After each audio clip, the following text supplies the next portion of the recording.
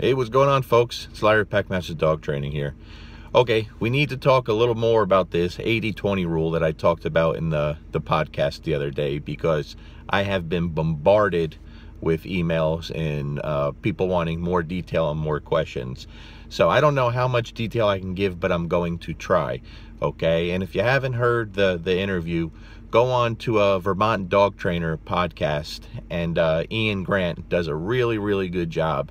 So please for me go on to his uh, podcast go to iTunes and share and download the podcast and and let me know what you think. He's done a bunch of interviews on there you guys can listen to and there's a lot of other good information. Does a really great job okay?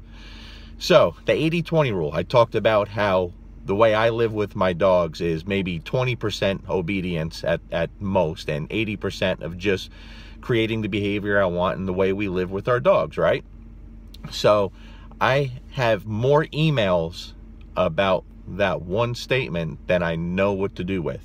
But the ones I were able to look at, basically everyone all the ones that I touched on, everyone has the same idea. And what a lot of people are saying is it has to go back to food and the place command. For example, people say, well, yeah, I kind of do that. You know, I make them do this before I feed them. I make them do this before they eat. They have to wait before they eat. They, you know, they work for their food throughout the day, that kind of stuff. And then a lot of other people said, well, yeah, I kind of do that too. You know, when they're in the house, they have to stay on a place command for hours at a time. And okay, I do neither. I do absolutely neither. I don't do any of that, okay? When the dogs are in the house, they don't have to stay on a place command, okay? Not saying that they ever go to their bed if I need them to. And surprisingly to a lot of people, I don't do anything with their food. I just feed them. I put their food down and I let them eat. I do absolutely nothing, okay? So let me give you a little more I'll see if I could touch on what I do from the start when I bring home a puppy. I've talked about this many, many times, but I guess with you know, I have enough videos out there now to where things get lost in the shuffle. And sorry about the uh, the NWA look here, but it's freaking cold out today, and I have no hair, so got to stay warm. All right, guys. A couple of things that I do with all my dogs to create the behavior I want. Again, you guys have probably all heard this, but I'll try to put it all together and make it as quick as possible. Just some of the important stuff in a nutshell, all right? So I bring a new puppy home okay?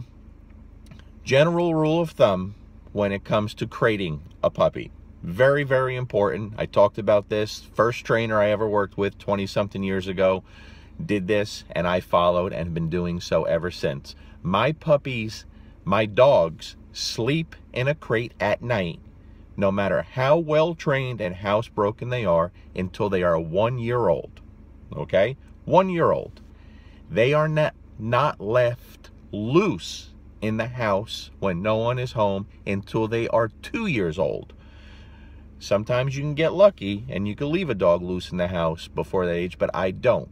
I always go till two years old. That's normally about the age where dogs are mature enough and you bypass all the bad habits by crating them properly during that stage, okay? So that's the first thing that I don't stray on, always. Crate them at night till they're one year old. They're not left loose in the house and they're two years old.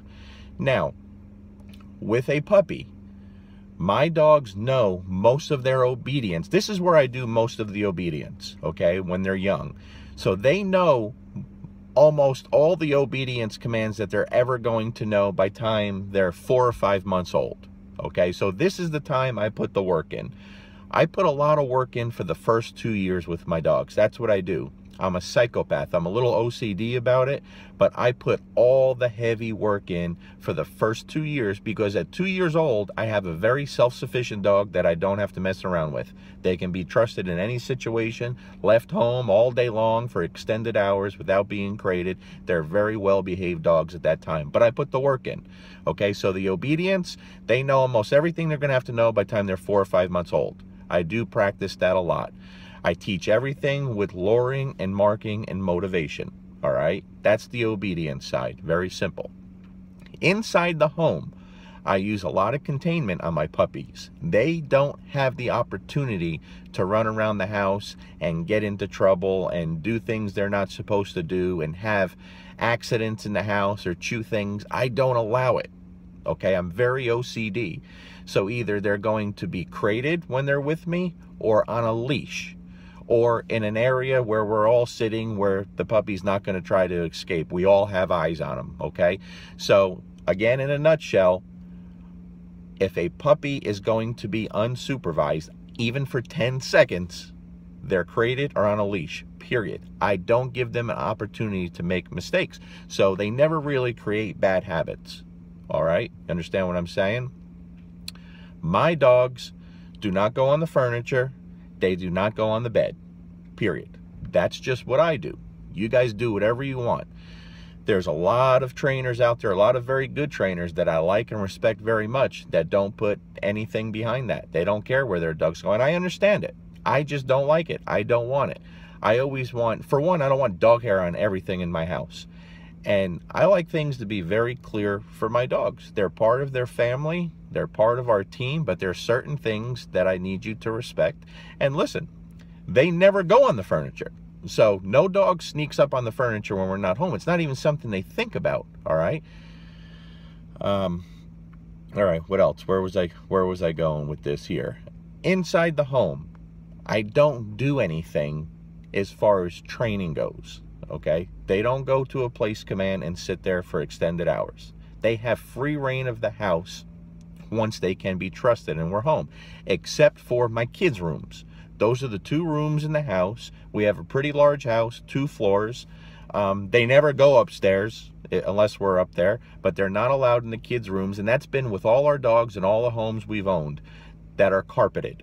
I just don't want the carpet getting dirty. I don't want dog hair on the carpet. I don't teach it. When they're young and they go to go in there, I just tell them, get out of there. That's it, literally. A few times and they get it. You don't have to shut the doors. You don't have to put baby gates because we have that communication between the two of us where they really understand what you want, guys. And again, that comes from inside the home. Uh, let's give you more examples. Doorways, okay?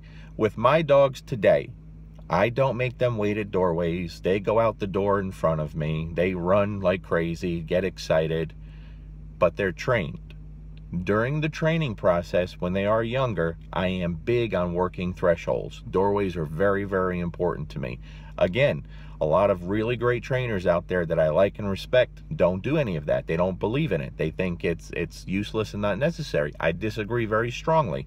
And I'll tell you, I'll give you two reasons why I disagree. My dogs are more well behaved than most. And every single shitty dog that I get from a client to train, like a really bad dog, they all allow all these things in the home. The blowing through doorways, the sleeping on the furniture, the sleeping in the bed, all of these things. Now, if I were to start doing that today, is it going to mess my dogs up? No. And so what I tell dog trainers is out there, yeah, you're fine letting your dogs on the furniture, letting them, you know, in the bed, all that stuff, but you're a dog trainer. And so you're doing everything right with your dog. You understand what it takes. The problem is, guys, when the average person allows those things to go on, they're normally allowing a lot of other really bad things to go on. You understand what I'm saying? So they usually have a lot of other really bad habits. So I don't allow any of that. Okay? Again, my dogs have free reign, but they know what they can and can't do. There is no toys there are no toys left around for the dogs. I tell everyone this. No dog, you shouldn't have toys laying all around your house. Okay, that's something that I want coming from me when it's time to play and train. They have to have meaning. And when you have access to something all the time, you're going to lose a little bit of interest. All right? Plain and simple. The what I tell my clients, might not be the most appropriate thing. My wife might want to poke my eyes out, but my wife is a very beautiful woman. There's no doubt about that. But if she was standing in the doorway naked every single time I came home, after a few years, after many years, it might not be as exciting anymore. Okay? Plain and simple. you, gotta you gotta have a little anticipation there and you know make it a little little something to look forward to. You understand what I'm saying? All right.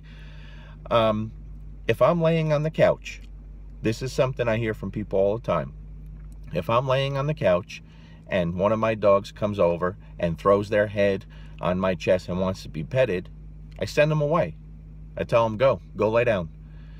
I won't do that. I won't allow that pushy behavior. In my head, that's my dog saying, hey, bitch, pet me. I don't allow that. Okay, and I love on my dogs a lot, but it's going to be on my terms. So I'll send them away.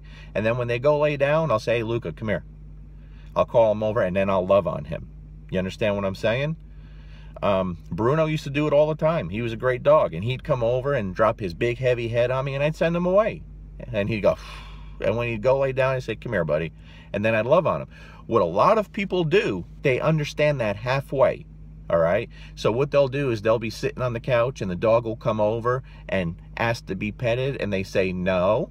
They'll say sit and the dog sits and then they pet him. They say I made him sit first. Yeah, but guess what? The dog still put himself there and got exactly what he wanted. So again, this is just me. These are the little things that are very, very important to me. I don't allow that. I don't like pushy behavior. If my dogs are starting to get amped up, there is no play in the house, guys. I don't want my kids running around acting wild. I don't want my dogs running around acting wild. So you guys who ask me, you know, how do you live with Luca? He's such a psycho. Not in the house. He comes in and he just is a normal dog.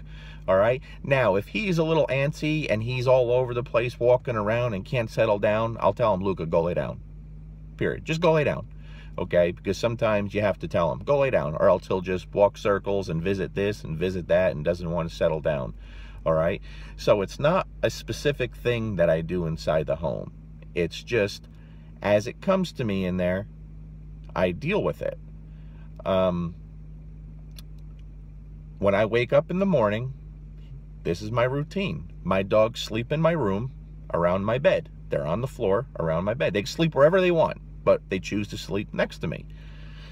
When I wake up, I don't say anything, you know, I get on the edge of the bed, Luca may come over and I'll say, good morning, buddy, you know, and then I get up and we go right outside. We go outside, they go to the bathroom, I bring them in, I do a few things, and then I feed them. I don't require them to do anything for their food. I don't mess with their food. I put their food in a bowl and I give it to them. And they eat next to each other. That's it. I think sometimes, guys, I see so many dogs with, with food issues and possession issues and food aggression. And what people do, they start from day one and they start doing all this crazy shit they see on TV. You know, messing with the dog's food, bumping them out of the way, putting their hand in the food. And, and listen, in my opinion, people create a lot of this food aggression that we see just I just let the food, you know, I just let the dogs eat. Now I know a lot of awesome trainers that I like very much and respect. They're great trainers. They make their dog work for everything. Nothing wrong with that. That's good too. It's whatever suits your lifestyle because remember, the dogs have to accommodate you. You don't accommodate the dogs. You understand what I'm saying?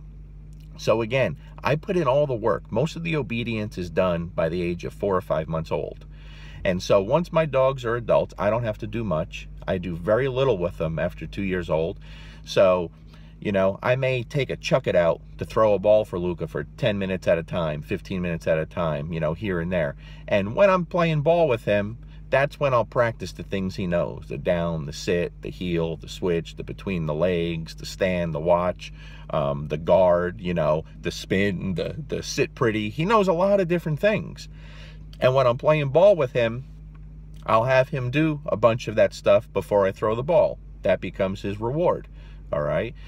Um, so again, 80 20 is how I live with my dogs. But to be honest with you, after two years old, it's more like 96 4. You know, then it's all living with the dog. I just don't do a lot of obedience, you know, and I think a lot of other dog trainers out there that are real busy don't do a lot of obedience with their own dogs, you know, unless you get people on the working dog side that compete and everything. Look, there's dog trainers out there that have dogs that didn't train their own dogs. They buy trained dogs. You know, that I don't understand. I've never had someone train my own dog, but you got to do what suits you. Doesn't mean it's wrong, doesn't mean it's right. You got to do what suits you. All right.